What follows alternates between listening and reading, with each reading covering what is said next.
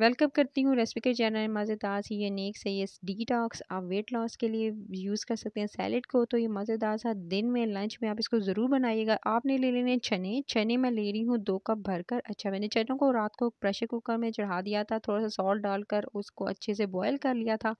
अच्छे से गले हुए होने चाहिए आपके चने। आप जो है इसको अगर आपके चने गलते नहीं है तो आप थोड़ा सा मीठा सोडा डालकर पहले इसको भिगो कर रखते हैं, दो से तीन घंटे उसके बाद इसको वॉश करके उस पानी को निकाल कर नेक्स्ट आप जो है साफ़ पानी में, आप जो थोड़ा सॉल्ट डालकर प्रेशर कुकर में चढ़ा दें तो आपके आसानी से चने गल जाएँगे। उसके बाद आपने इसके अंदर शामिल करना है, ये आलू है, आपने आलूओं को बॉयल कर लेना है सिंपली आप बॉयल कर लीजिएगा और बॉयल करके आप इसके छोटे छोटे इस तरह से पीसेस कर लीजिएगा और इसके अंदर पोटैटोस ऐड कर दीजिएगा। अगर आप जो है वो वेट लॉस करने जा रहे हैं, आप स्किप कर दीजिएगा आलूओं को, ठीक है? आपने आलू शामिल कर लिए, आलू शामिल कर लेने के बाद फिर आपने इसमें बंद गोभी का इस्तेमाल करना है। बंद गोभी जो है वो आपने तकरीबन ले लेनी है इस तरह से जो है एक छोटी प्याली, यानी आपने एक मुट्ठी भर कर आपने इसके अंदर बंद गोभी भी आपने शामिल कर देनी है। बंद गोभी को शामिल कर लेने के बाद इसके अंदर शामिल कर लेंगे प्याज। प्याज जो है मैंने दो दरमियानी साइज़ के लिए थे, उसको मैंने ठंडे पानी में भिगो के रख दिया था और उसके बाद इसको स्लाइस्ड करके मैंने इसके अंदर शामिल किया ताकि इनके अंदर करवाट ना रहे और आपके प्याज जो है क्योंकि कड़वापन होता है तो वो ख़त्म हो जाएगा अगर आप उसे चिल्ड बर्फ़ वाले पानी में रखते हैं। उसके बाद जी ये ले ली है धनिया, ठीक है, एक तरफ़ रख दी थी मैंने वेजिटेबल्स को और मैंने ले लिया धनिया। अच्छा धनिया लेनी है और आपने इसके ये जो पत्ते हैं, ये अलहदा कर लेने हैं और आपने डंडियाँ अलग कर लेनी है और पत्ते जो हैं वो अलग कर लेने हैं, ठीक है? और आपको चाहिए होंगे सिर्फ़ और सिर्फ़ पत्ते और आपने पत्ते लेकर उनको ग्राइंडर में डालकर ग्राइंड कर लेना है, ठीक है? अब आपने क्या करना है, एक मिक्सिंग बाउल लेना है, उसके अंदर शामिल कर लेना है एक कप भर कर ये तकरीबन मेरे पास था आधा किलो करीब दही दही शामिल करके, ठीक है? उसके अंदर शामिल करूँगी थोड़ा सा पानी, तकरीबन आधा कप से भी बहुत कम पानी मैंने इसके अंदर शामिल किया है और उसको अच्छे से फेंट लूँगी।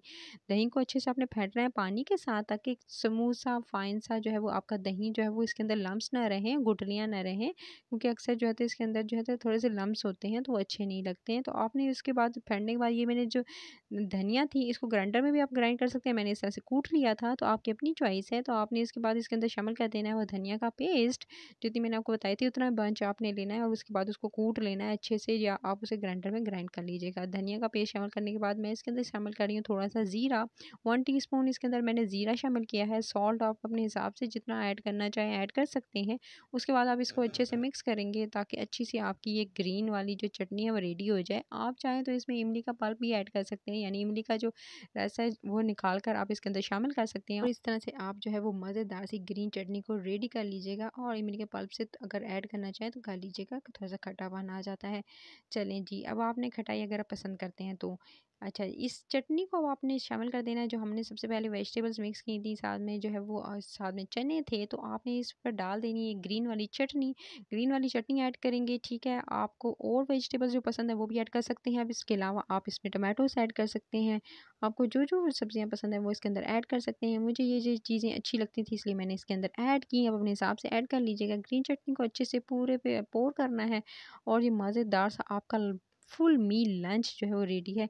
आप इसे लंच में, डिनर में इसको ले सकते हैं। वो लोग जो डाइट पे हैं, उसमें नमक स्किप कर दीजिएगा और पोटैटोज़ को स्किप कर दीजिएगा। बाकी चीज़ें बहुत हेल्दी हैं।